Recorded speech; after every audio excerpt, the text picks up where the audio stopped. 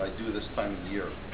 One of the big things that people use right now is they'll, they'll come in and buy the step four, uh, programs.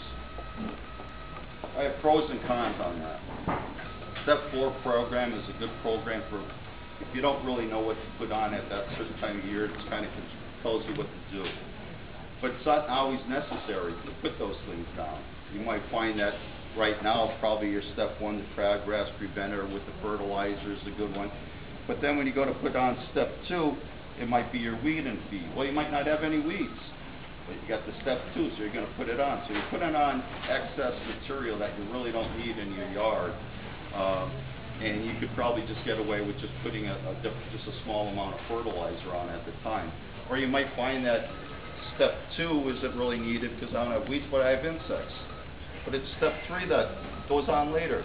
Doesn't make any difference. You could actually put that on the second application if you have a weed. But then again, your insects might be going on a little bit into the uh, late April or, or May or June, and they, they're telling you to put that one on in August. Well, then your, your insect population is, is being, uh, chewing up your lawn when you actually should, uh, be putting that application. So a lot of times it's, it's, it's, it's, uh, one of those programs where they're not putting the, uh, the fertilizers on at the right time, so there's a little bit of waste of a lot of pesticides into the ground, uh, applications in the groundwater. So watch, watch the four-step programs. A lot of times you can get away with, it, it's sometimes better to spot spray. You might have a weed here, a weed there, or just uh, an insect problem over here and over there.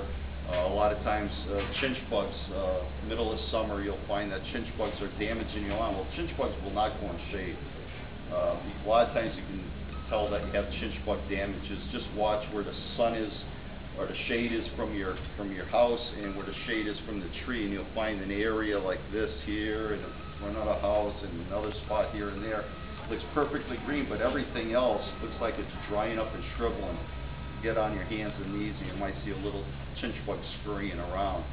But it doesn't mean that you have to do the whole lawn with insecticides, just those little, those areas. So if you can minimize it a little bit, uh, then you only need to buy a certain amount just to control that or a spray to control it. So that's one of the things about the four-step programs. I think there's a lot of waste um, that, that people put into their yards on it, but